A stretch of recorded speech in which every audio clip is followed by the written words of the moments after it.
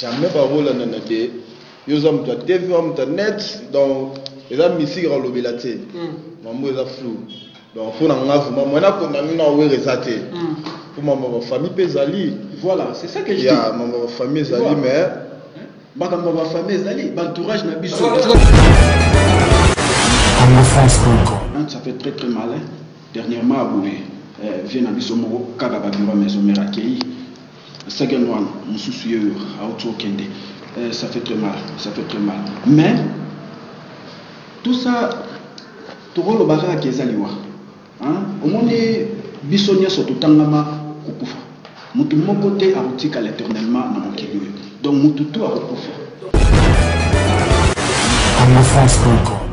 Merci beaucoup, chers amis fidèles téléspectateurs de la 3xwcongofrance.com.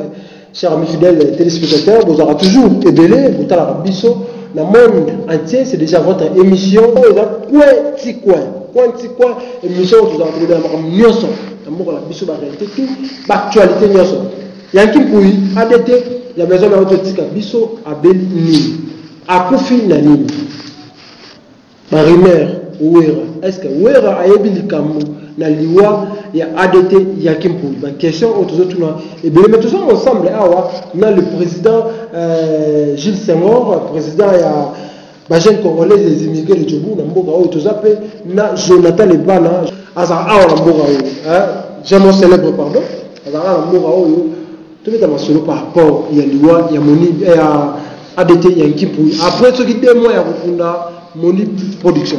Bonjour euh, Jonathan. Bonjour Nzamba Bartiste Nzambe ya micro. Oyo nabengi na wenge moto na Nzambe. Bon, mpo na liwa bino ya vie ezosala mpena mpasi fort. Hmm. Atali wana ba net, ba publie yango par ci par là, mais ti lelo naoyeba te, ti sikoyo naoyeba te vie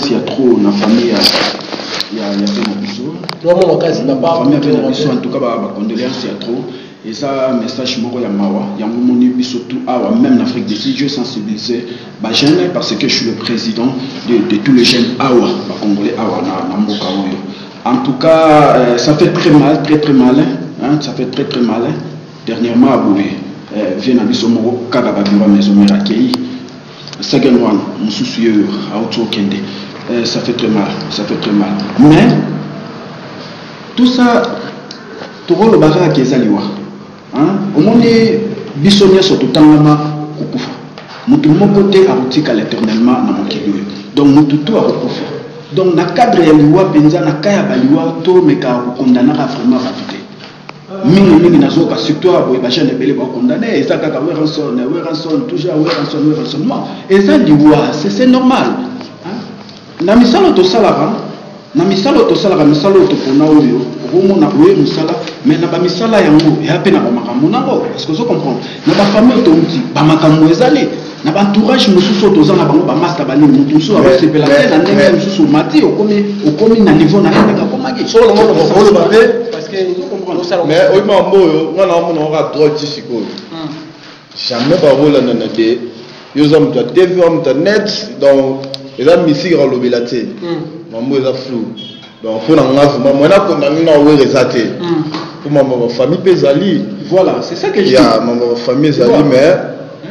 makambo ya bafamille ezali baentourage na biso baoeza wera son jonathan apona nde eza wera bajeune aye mpo na makambo ya politike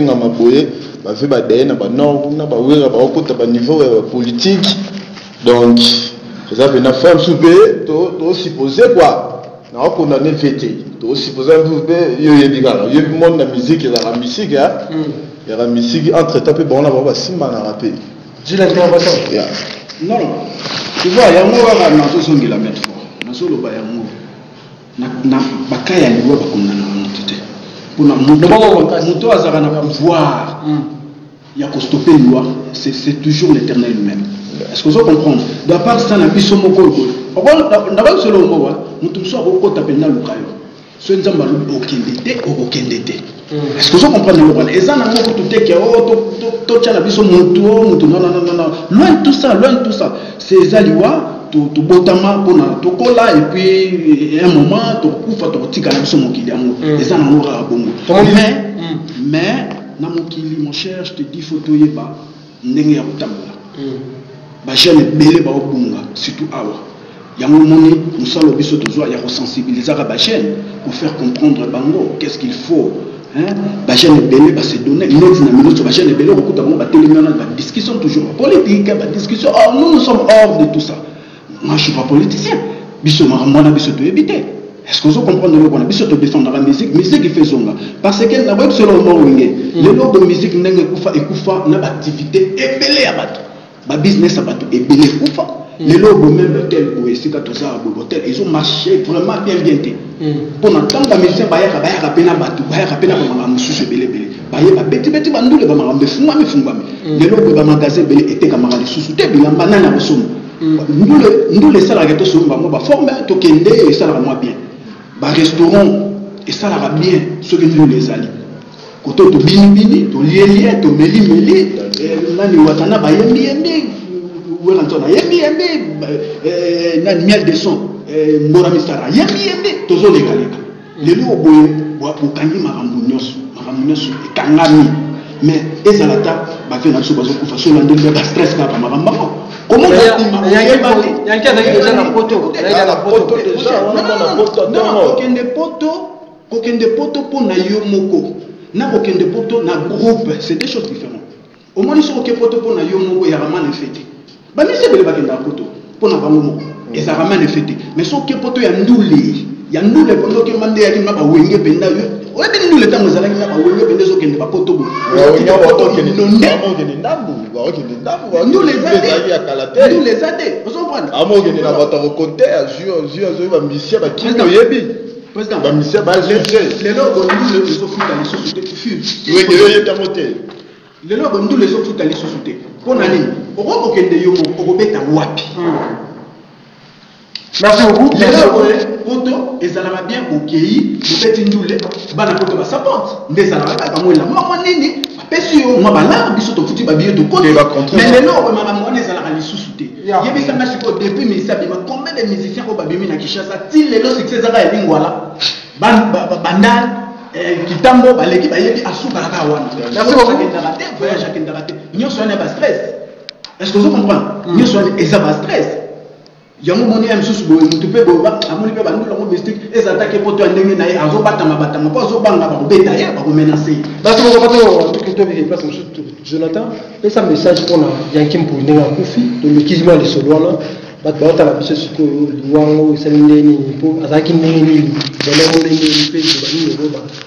na bato tu to bafani na ye to bafani na maison mare oyo bazalaki koyoka ye mpe kotala ye na baintervention na ye mai longo ozala ye napesi na mikondoleance na famille na ye yaki poi mpena eyepesa mpasi fa wana mpena vi na nga mm. wana vi na nga kati ya masolo ebele nazalaki kuna bademarche vaya nakita masolo avant via daye mais mm. nadie mikili te mais via daye sa vraiment mpasi nazalaki avant vakende namonani mais Na makambo oyo ezala libanda werra mais soki werra ayebi liwa ya ve esa faux Mm. esa vraiment faux po de bakeyi deya boye eza normal te Moni production kala mingi te na yebi lisusu. nayebisi yo wenge epia pasi epesa pasi mais wana président wana président williamson je te salue ve wana wana pena wenge na maboko ne mais ve soki eza yo oyebi liwa wana esala faux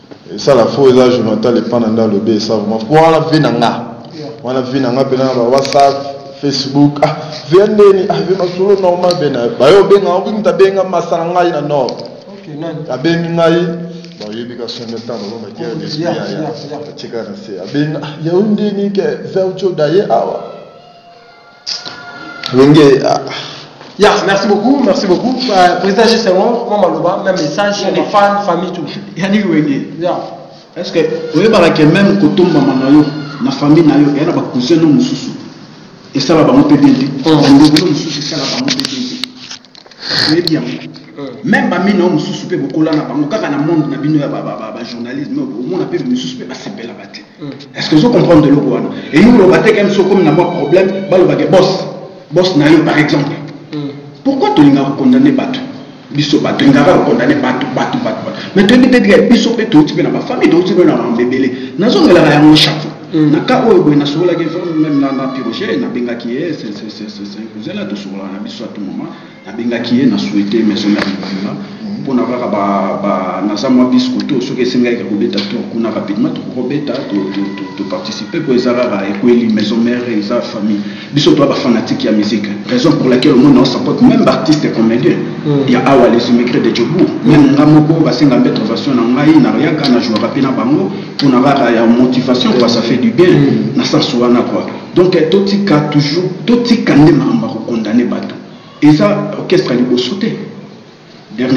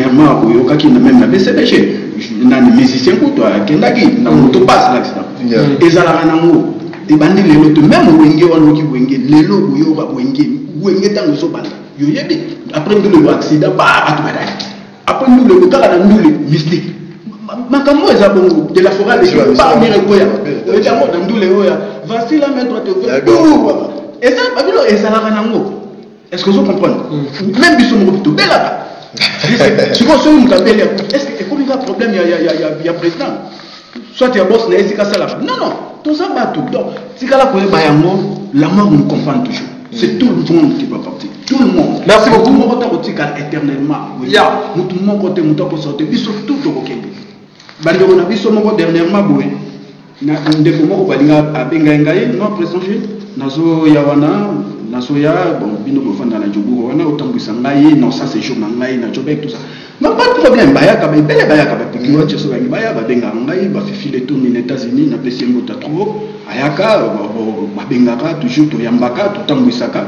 Mais après à certains moments comme ça to benga ngai en tout cas je me sens très mal kutu na okende hôpital. c'est ça la vie après tout ça non non non na reporter yango nakoyaka ata na fin de l'année mpo na metemps de santé merci beaucoup jus alors merci beaucoup toujours la vie c'est comme ça cher ami fidèle téléspectateur euh, merci beaucoup na ve nanga marcel ngoi na dallas motema mama mabe hein? bino ba Marseille ngoi na Dallas motema ya mama Mado euh, tobeta lisolo ya SMS oyo ya to conversation ya Jibe Mpiana na fanatique na ye wana oyo mpe lelo jete bloc esali succès na Kinshasa nayebi te par rapport à réaction ya Jibe Mpiana Jonathan emonaki réaction wana ndenge te mais président président Soleil faux président Soleil faux fanatique a fanatique ya groupe ya BCBG alelisa fin lota via bimisa album te Ba fancy ba na posa ba ba use ne ba bengi en anglais ba use album na bango eza nini match match nini ba de match ba de match na landa kiango na landa kiango na yo ki ve ya tomboki d'abord kutu na bloqué yo soki ozwi mao na nga wapi vasola ifo vasola ifo fanatique fa répondre fanatique bien quoi mm. te bozala calme bal de match eza sur le terrain kala te babiloko ezosi letika bafinition mais ve Tomboti donc sona zali na nga kuna yebi te. Mm. Bon. Na yebi te na oloba. Conseil ka na ba fan club to na na président Jubi Piala on attend biso siko. Te président bon président déjà lobaki hein. Président ça sur le rôle ba te pour de abimisaki. Mm. Ba o ba bimisa ba bimisa nga za pressé te. Ba de match za ba de match za bon. Pona ba fanatiki vraiment nayebi te nga na fanatique ya BCBG te mm. nayebi to naloba mais ba fanatique ya BCBG oza posé posa déjà alakaki abaki mal de match ya sur le terrain ebima donc nde président abaki ebima seke ebima Yeah. Merci beaucoup, Gilles Senghor, par rapport à SMS. Voilà. Non, par, rapport à SMS, par rapport à SMS, premièrement, euh, au moins, je suis President JB aza mutu ya mukie te. Est-ce que ozo comprendre JB aza leader po aza na entreprise moko ya munene. Il faut avoir du respect envers mutu wana. Lelo boye bato baosa circonstance eza circonstance bientôt lako omona mpe boye mpa makambo yango echange bamisiki ezongi bamakambo nyonso ezongizongi e dépendre kaka na nde nzambe akokumbela makambo na ye oyebi ntango jiba aki jibe oyo oyebi ya papa chéri ndeko na biso wana yango ozodiance wana te ya kolobela jibe babiloko wanana niveau ya jibe tozalaka meme na respect ya moto hmm. parce que ozo comprendre eloko wana hmm. jibe aza membre ya bureau ya bcbc te jibe aza leader oyo aza plus concentré na makambo ya miziki kokanisa te kokweya ya miziki ndenge ekwei lelo obe miziki ebetama te eya plaisir na bango non eza souffrance na bango na bafamille na bango hmm. rien ke bango na babiso nyonso baactivité mosusu boye mpe moye marché eza lisusu te donc azalaka ye mosusu boye aza ye te bao raisonne plus ndenge tokosala miziki ezonga qu'est ce qu'on peut faire okobenga moto ya mosusu na circonstance moko boye aza ye mosusu aa mpe na makambo ndeko aza mpe na famille na ye abenga mosusu na circonstance moko boye eza bien ta korépondre mpe mabe yango makambo mosusu omonaka biro eza wana biro boyebisi yango oyebisi biro biro azwi yango epuis meme meme wana sonde omonaka wana avant biro ya koyebisi makambo ma maison mare bazwaka temps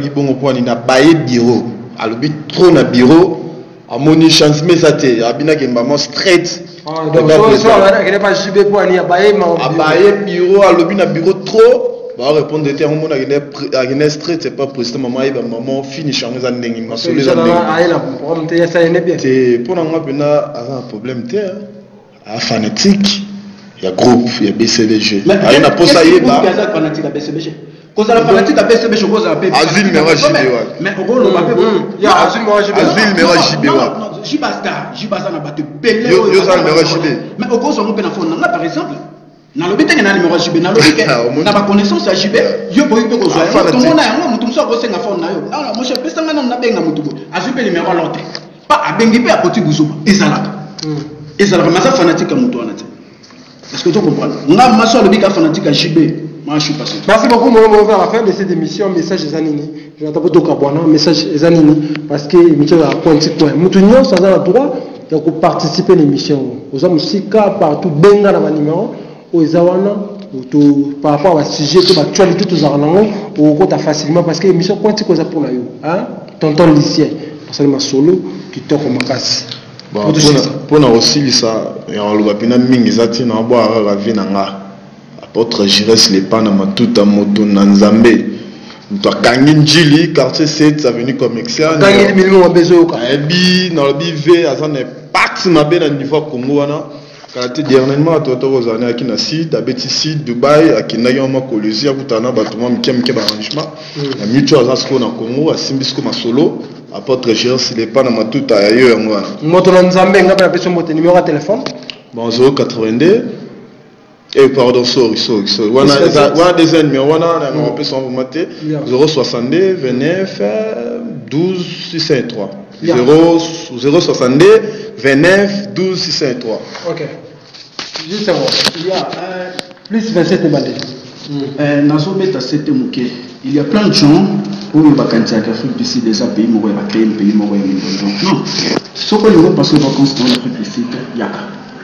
Yaka tokoyamba yo ba place eza ebele meme esika oyo tozali eza hotel moko kitoko ovanda tokotambwisa yo na truc de suite donc donc euh, kotya stress te kotya stress te komitungisama te on est là toyambaka bato ebele bamaste ebele baotamikili bayaka oyo amoniki ya mosusu Nabenga kaka Jil Senghor aza wana, toviambaka, toke tovie na Ertambo, totamboli na ye, amoni asali sejour na ye azongi. Donc koto wana bozala na stress te hein. Fifi Letoni, Fifi Letoni bozala na stress te. Bandeko na ngai please tobeta sete na likambo oyo. Tozo negocier vraiment, tozo solola mpo na musique ezonga. Musique ezonga ba activite ebele mpe ezonga zonga. To tozala na problème awa ya vie na ngai Grand Choco ngai masolo yango tosololaki yango eh, ndeko na ngai eh, ndeko na ngai mama pasteur Maman pasteur Sakumbi ayebi nde nazo nazo loba boye ayebi masolo tosololaki to continue toujours kosolola yango wana na cadre ya famille tokosolola yango maman pasteur eh, Sakumbi ayebi masolo tosololaki oyo en tout cas on est là on est là ça c'est une grande famille on est là biso tofandaka na mboka oyo tokoyamba tokoyamba en tout cas euh, mon numéro c'est plus 27 62 97 66 99 4 c'est Jules Senghor naza na mpo na bino bambote ebele na vie na nga Peggy Wache eh, na, na, na France euh, Clarisse Bachikile eh, mwana moluba moko ya pembe na Bruxelles wana Clarisse Bachikile euh, sœur na ngai eh, nabosani te Fifi le Tony Fifi le Tony eh, depuis les États-Unis eh, l'américaine la, qui bouge tozela yo mopanzi oyo tokoyamba yo eh, sans oublier oso napesi mbote te apeshe eh.